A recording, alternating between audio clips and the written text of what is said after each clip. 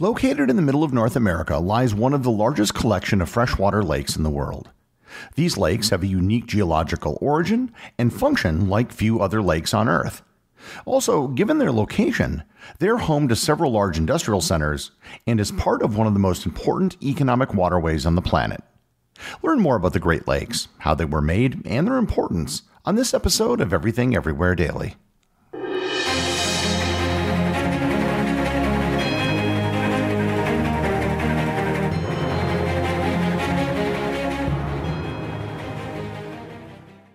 Hip hop has always called out the inequalities in America, but even within it, nothing's ever been equal. This season, Louder Than a Riot podcast is tackling sexism, homophobia, and all the unwritten rules that hold the entire culture back. Listen to the Louder Than a Riot podcast from NPR Music or wherever you get your podcasts. I have a brand new sponsor to the podcast that I'm excited to tell you about ButcherBox. If you're unfamiliar with ButcherBox, they're a service that ships high quality meats and seafoods directly to your door every month. And by high quality, I mean 100% grass fed beef, wild caught salmon, heritage breed pork, and free range chickens, with no antibiotics or added hormones. And I speak from firsthand experience when I say that this level of quality can be very difficult to find at most local grocery stores. The way it works is that you sign up for a box of your choice, either a custom or curated box, and then every month you'll receive a box of high quality meat. Depending on your choice, it will be enough to provide meat for 24 to 60 meals a month. Shipping is free, and everything arrives at your door frozen for freshness. You can get free chicken nuggets for a year and 10% off your first box when you sign up today. That's a 22 ounce bag of gluten free chicken nuggets in every order for a year when you sign up at butcherbox.com slash daily and use promo code DAILY. Once again, that's butcherbox.com slash daily, promo code DAILY.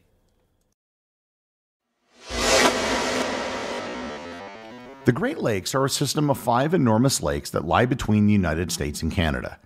Collectively, the five lakes are the largest in the world in terms of area and the second largest in terms of volume, just slightly behind Lake Baikal, which will be the subject of a future episode. And for those of you who are wondering why the Caspian Sea isn't listed, it's because the Caspian Sea isn't generally considered to be a lake. The reason is that the Caspian Sea isn't a body of fresh water. Its water is actually salty, although only a third of the salinity of the oceans. It is an inland body of water, but it is different enough that it usually doesn't fit the general classification for a lake. The five Great Lakes are Superior, Michigan, Huron, Erie, and Ontario. While each of the five lakes is separate, they are all interconnected, creating a single waterway. The surface area of the Great Lakes is approximately the size of the United Kingdom. By surface area, Lake Superior is the largest lake in the world, with Michigan coming in third, Huron fourth, Erie 10th, and Ontario 12th. Other lakes on that list include three rift lakes from Africa, Lake Baikal, and the Great Bear Lake in Canada. The Great Lakes were created about 14,000 years ago during the last ice age. The massive ice sheets which covered North America created large depressions in the location of the Great Lakes. When the glaciers retreated, the depressions filled up with water, creating the lakes we now know today. One of the lakes which is always compared to the Great Lakes is Lake Baikal in Russia, which is the largest lake in the world in terms of the volume of water by quite a wide margin. Baikal, which will be the subject of a future episode, is the result of a continental rift, similar to what created the Great Rift Lakes in Africa. Any discussion of individual lakes has to start with the biggest of the Great Lakes, Lake Superior. As I previously mentioned, Superior is the largest lake in the world by area and the third largest by volume behind Baikal and Tanganyika. A full 10% of all the standing fresh water in the world can be found in Lake Superior. The Ojibwa people who lived on the northern shore of the lake called it Gitchigami, which subsequently became anglicized by Henry Wadsworth Longfellow into Gitche Gumee, and was subsequently popularized by the Canadian singer Gordon Lightfoot in his song The Wreck of the Edmund Fitzgerald. Superior is the deepest of the Great Lakes by far, with an average depth of 483 feet or 147 meters, and a maximum depth of 1,332 feet or 406 meters. Because of its depth, Superior holds more water than all of the other four Great Lakes combined. there is enough water in Lake Superior to cover the entirety of North and South America to a depth of 30 centimeters or 12 inches. There is one notable island in Lake Superior, Isle Royale, which is technically in the state of Michigan. If you look at a map, it might seem odd that Isle Royale is part of Michigan, given that it's right off the shore of Minnesota. The island was actually ceded to the United States by Britain in the 1783 Treaty of Paris, and then was given to Michigan when it became a state 20 years before Minnesota. Superior is the closest thing you will ever experience to visiting the ocean without actually visiting the ocean. Outside of some areas immediately near the shore, the lake does not freeze over in the winter. And by the same token, it also doesn't warm up very much in the summer, meaning that only the most intrepid swimmers would actually try to go swimming in Lake Superior. You can do it, but good luck if you try. The next largest of the lakes is Lake Michigan. Lake Michigan is the second largest Great Lake in terms of water volume and the third largest in terms of area and the only one of the lakes which lies solely within the United States. Hydrologically speaking, Lake Michigan and Lake Huron are actually the same lake. The two lakes are connected via the Straits of Mackinac, which at its narrowest point is only 3.5 or 5.6 kilometers across, and it's short enough that it's spanned by the Mackinac Bridge. The water levels in both lakes are the same, and the water can flow back and forth between them depending on conditions. The largest city on Lake Michigan is Chicago. The city's location was determined by the creation of the Illinois and Michigan Canal that connected Lake Michigan and the Mississippi River Basin. It's actually a really short canal, but it allowed for a ship to theoretically travel from New Orleans to Montreal without ever having to enter the Atlantic Ocean. For people in Wisconsin or Michigan who want to visit each other, it can take a very long time to drive around the lake. During the summer, there is a ferry service that can turn an almost 500 mile car ride into just a 60 mile ferry ride. Lake Huron is connected to Lake Superior via the St. Mary's River and the Soo Locks, which are located between Sault Ste. Marie, Michigan and Sault Ste. Marie, Ontario. Within Lake Huron sits the large Georgian Bay, which lies entirely within the province of Ontario.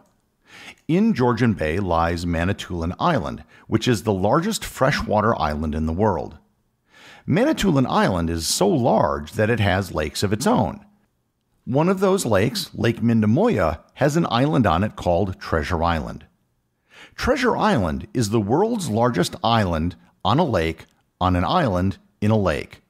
And there's actually a settlement on the island, meaning that someday somebody could build an artificial lake on it with an island in the middle, making it an island on a lake, on an island in a lake, on an island in a lake.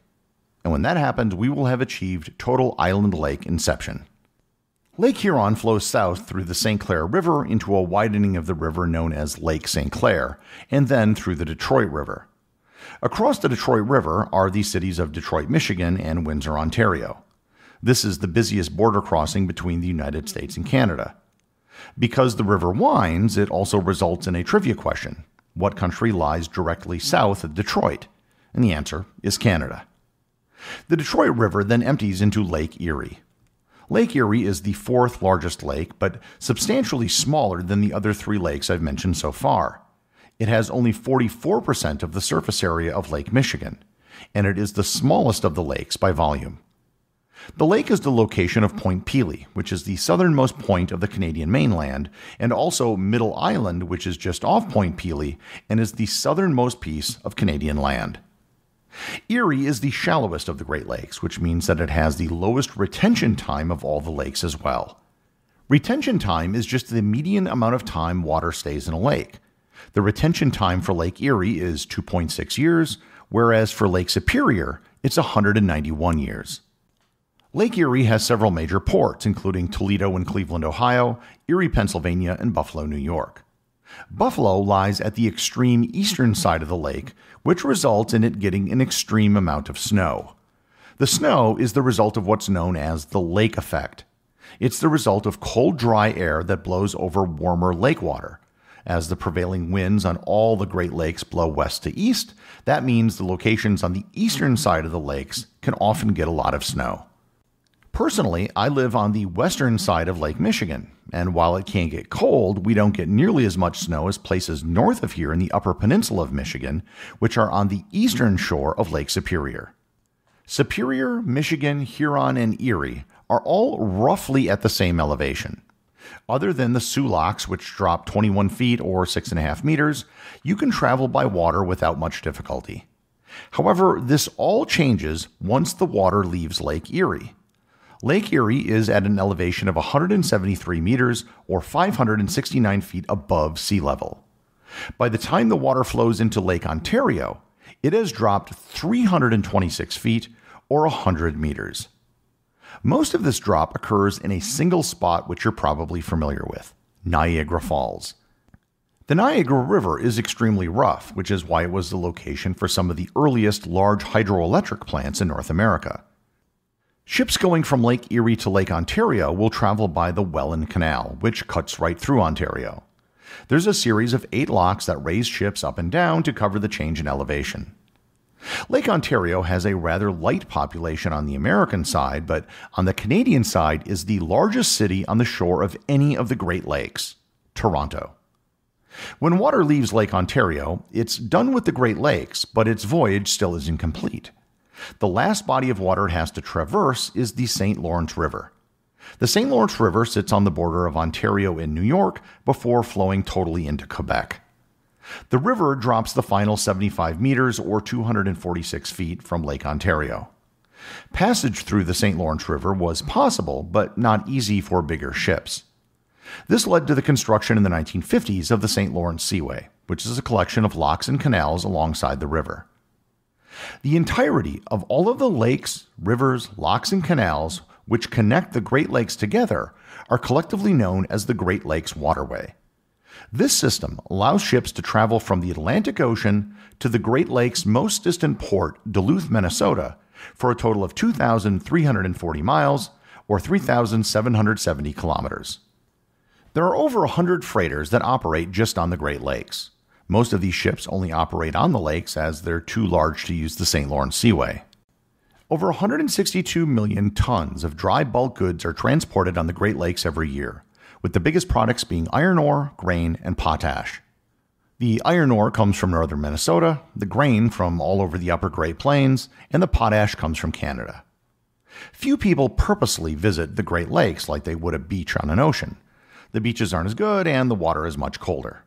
However, because the Great Lakes are much smaller than any ocean, you can experience them by driving around them. A trip around Lake Superior is actually one of the best trips you can make in North America, even though few people actually bother to do it. Economically, the Great Lakes are one of the world's most important inland waterways. Hydrologically, they're one of the world's most important reservoirs of fresh water. And politically, they serve as the most important boundary and area of cooperation between the United States and Canada. For these reasons, and just for their raw size, the Great Lakes collectively are perhaps the most important lakes on Earth. The executive producer of Everything Everywhere Daily is Charles Daniel. The associate producers are Thor Thomsen and Peter Bennett. I have a boostagram for you today. Listener Uzza sent 333 sats on the episode on the world's greatest wagers and had the following comment. They said, This is the first time I've heard the word Principia with a K. Indeed, one of the results suggests Principia, but the rest goes into Principia. Troll job done for today. Nice episode, but expected to hear more about the rice corns and the checkerboard. One of the nicest stories in history, and it's always great to educate people about compound interest and fiat money. Well, thanks, Uzza. First, the story of the grains of rice and the checkerboard is an apocryphal story. There's no evidence that it ever really happened. It's a great story to demonstrate just how fast things can grow exponentially, but there's no actual history behind it. Second, the proper pronunciation for the Principia Mathematica is Principia. This is because the Principia Mathematica is a Latin text. The whole book was written in Latin. In Latin, the letter C is always pronounced as a hard C, like the letter K. Principia is an anglicized version. It's commonly pronounced that way as most people don't know Latin, but it isn't how Newton would have pronounced it. If you watch any videos with science historians, I would bet that their preferred pronunciation would be Principia. That being said, there are other Latin words with a C that are usually not pronounced with a hard C. Caesar and Cicero would technically be pronounced Kaiser and Kikero, but we say Caesar and Cicero because that's what everybody knows them as, and it would just be pretentious and confusing to pronounce them in their original Latin. Remember, if you leave a review or send me a boostagram, you too can have it read on the show.